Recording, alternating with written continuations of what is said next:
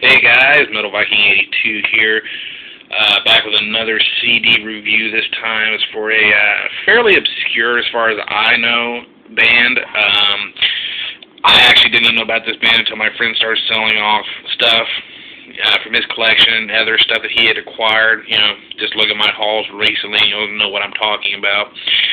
Um, uh, this is a band called Nailed, and this is their debut album, A Pure World is a Dead World. the back.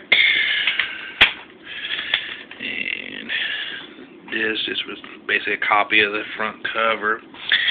And as I said, I had no idea who this band really was. I kind of took a chance on them. Just the name and the album title really screamed death metal to me, and I was correct. This is actually a British uh, brutal death metal band that formed back in 2000, and this particular album was released in 2007 through Crash Music, who, uh, from what I was reading, uh, pretty much really screwed this band a lot.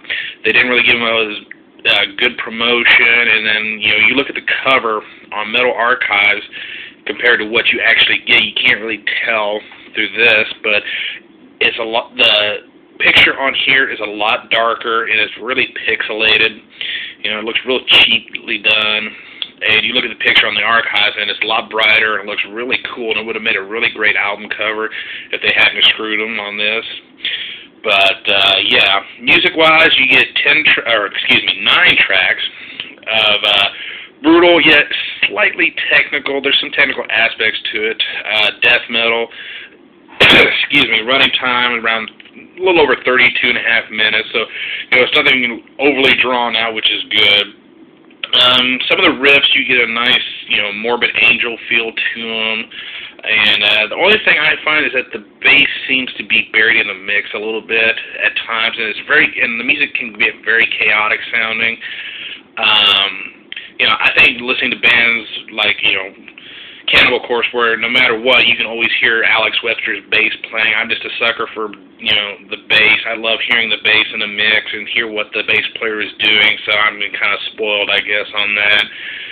But um, yeah, but then again, I also don't like it to be too overly, you know, high in the mix. But still, they could have mixed it a little bit better, I think. And uh, as far as the drums go, yes, there is a lot of blasting in this, though not overly done. It's not one of those things they had to rely on because the drummer's not talented or anything. And there's, you know, lots of double bass. He mixes it up quite a bit, which is nice. Like I said, it's not just one huge blast fest, so that's always good.